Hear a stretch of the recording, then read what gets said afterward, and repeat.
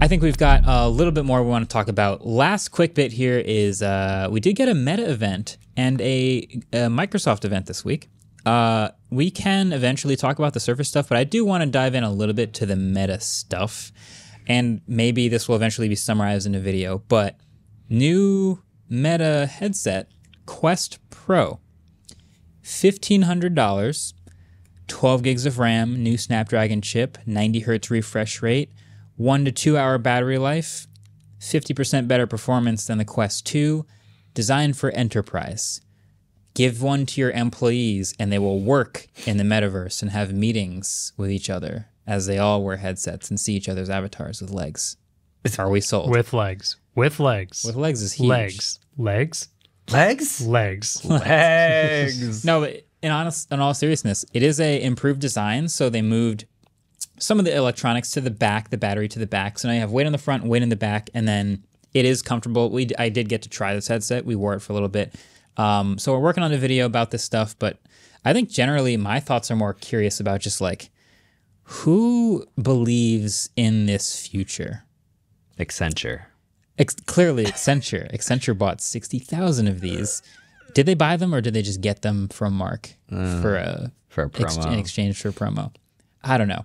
I just think it's fascinating that there is this huge bet from all angles at this future of everything being in the metaverse from Meta, and part of that includes um, working in the metaverse. I I've seen I've seen pros and cons of it. I've seen upsides and downsides. It's generally here's how I'll summarize my thoughts. I think it's a good idea and there are real benefits.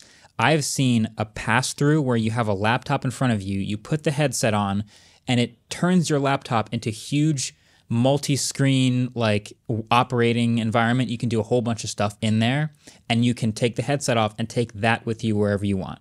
On a train, on a park bench. That's I get it. It's super cool. Being in a meeting with nine other people instead of a Zoom call, and you can just like turn to the person next to you and go, "Hey, did you can you read what he's writing on the board? I can't quite see that." And like the person next to you can hear you, even though it's in VR. You couldn't do that on a Zoom call. Okay, I get it. That works.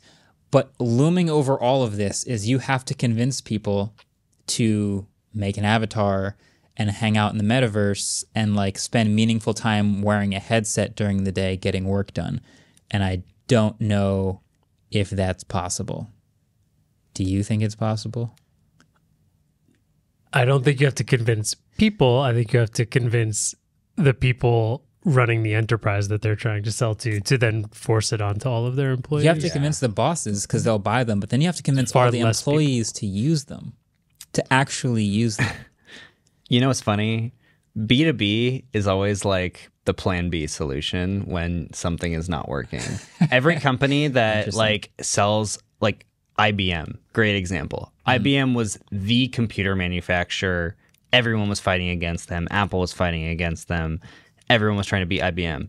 Eventually, they lost. What did they do? B2B, baby. business to business. And like that's what everyone does, and it just makes me wonder. Like, of of course, Quest Two is selling incredibly well considering the entire landscape of virtual reality. They sold a ton during COVID. Um, they've sold a lot because of like Beat Saber and all these other things.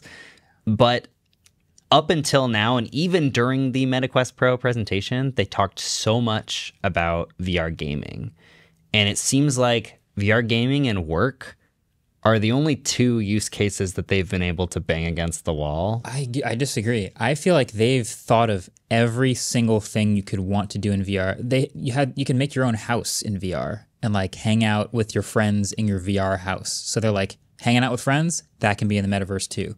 Work that can be in the metaverse too. Uh, f- watching a movie that can be in the metaverse too. You can watch YouTube videos together. Like they they're just basically they'll think of every possible thing you could want to do with traditional 2D screen experiences or even non-screen experiences and then just throw as much money at the companies in the space as possible in order to turn it into a viable VR experience. Yeah, you know how like Tesla used the super expensive car, medium expensive car, cheap car model to like get cash injections for each subsequent model? Mm-hmm.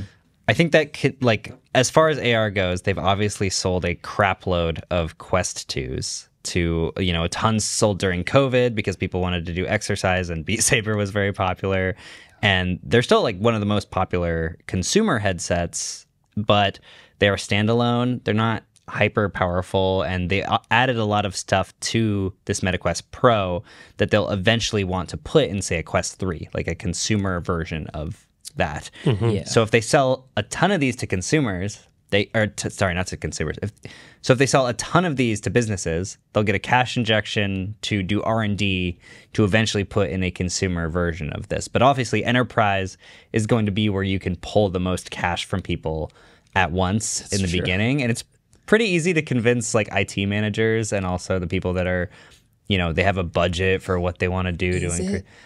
I mean, it's not easy, but there are people whose job it is. to get fifteen hundred bucks out of somebody. Yeah. You can get fifteen hundred bucks out of a thousand people faster by convincing one business IT manager Right. than it is to convince. Okay, There are I see. people whose jobs it is at these companies to be like, how can we make our employees more efficient? And they go to that's like what expos are for, right? Conferences and expos are mm-hmm. how can we make our our employees more efficient? Yeah. And if they can convince the people who run the business that this will, that's a big cash injection. You just get on stage Meta. and you say, "Meetings in VR make your thing more immersive, and everyone's three percent more efficient." yeah, and three Okay. percent you just do like what does that translate to in terms of actual revenue? Boom.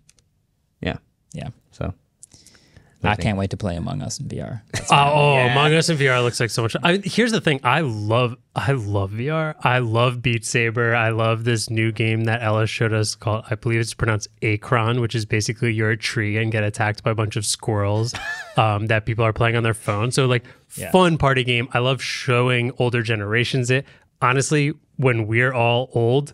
VR is going to be awesome. Like, I feel like we're going to get to experience a million things in VR later the business aspect of it, I'm still not totally sold on with like meetings and such in VR. I I I get what they're thinking of like Zoom kind of sucks and there's probably a better way of doing it and a more interactive way of doing it. It's not anywhere near there yet. And I am getting it's hard to convince with the examples I'm being shown right now. They're just slowly. I, I want I, this is going to be a video for sure. They're they're slowly just spending as much money as they can to be the company responsible for the VR future. And whatever examples they can think of of like what would be more fun or what what's another reason we could get people to use VR, let's put it, money into it. So if you're thinking gaming is one of those examples, all right, let's pay to make Among Us in VR happen. Let's pay to make this other game and that other game happen. Developer studios, boom. Oh, okay, what's that? You you want to do work in VR, right? Of course. Microsoft CEO, come on or CTO, come on stage.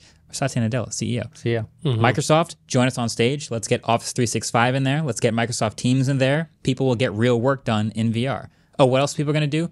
Uh, they'll just come up with other things and then just pour money on it to be the company responsible for VR happening. So that's what's happening. I don't even think it's a, an equation of like how many times can we get 1500 bucks out of people. I think it's just like we have Yeah. X billion dollars to make this the future. Let's do it. An X runway before our company is dissolved. Yep. And it's either going to happen or it isn't.